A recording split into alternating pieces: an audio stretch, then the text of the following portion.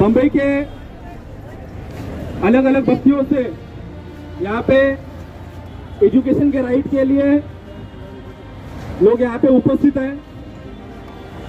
यहाँ पे उपस्थित लोगों को दिख रहा है कि स्कूल के बच्चे यहाँ पे उनके हक और अधिकार के लिए रास्ते पे आए हैं। ये कितनी बड़ी शर्म की बात है कि पढ़ाई के लिए स्कूल के बच्चों को रास्ते पे आना पड़ रहा है। इससे पता चलता है कि यहाँ की सरकारें कैसी है।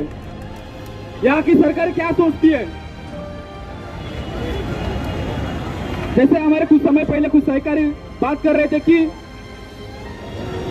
महाराष्ट्र के अलग अलग जिलों में स्कूलें बंद की जा रही है।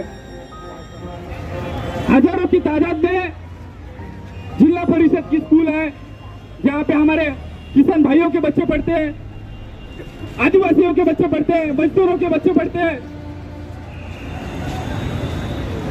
अगर किसानों ने काम करना बंद करो, काम अगर बंद करेंगे तो हम लोग खाएँगे क्या?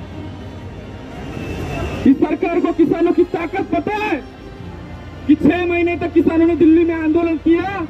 जो तीन ला- कानून थे, जो सरकार ने लागू किए थे, वो वापस करने पड़े उनको। ये ताकत किसानों की है। तो सरकार को मैं कहना चाहता हूँ कि किसानों की ताकत का अंदाज़ा नहीं लगा सकते तुम। जय जवान, जय किसान का नारा देने वाले देश के लोग हैं।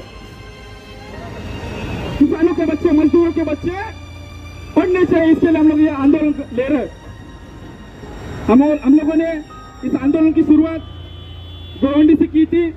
दूसरा आंदोलन हम लोग ने सायन में किया था और अभी आंदोलन आज का हम लोग बैंड्रा की बस्तियों में कर रहे हैं।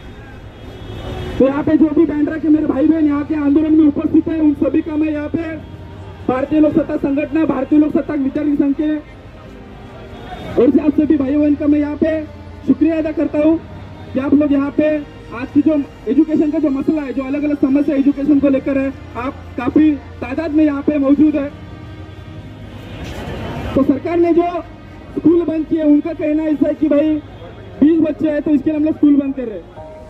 लेकिन राइट टू एजुकेशन एक्ट जो है, जिसे हम लोग मूलभूत अधिकार कहते हैं, जिसे हम फंडामेंटल राइट कहते हैं। तो जो फंडामेंटल राइट्स है, संविधान का जो आर्टिकल 21 सी है, वो ऐसा कहता है कि छह से लेकर चौदह उम्र तक के जो बच्चे हैं, उनको फ्री में और कंपलसरी एजुकेशन